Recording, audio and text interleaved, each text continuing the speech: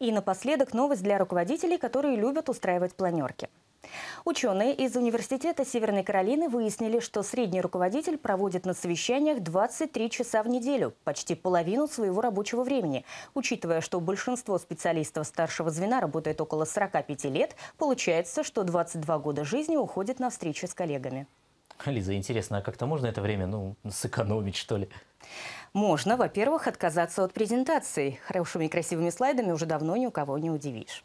Во-вторых, следует четко ограничивать время совещаний. Чем дольше длится встреча, тем больше вероятность, что она превратится в никому не нужную беседу. Если есть регламент, то такого не произойдет. Ну и, наконец, руководителям советуют не бояться оставлять подчиненных самостоятельно разбираться с проблемой, а самим контролировать только результат работы.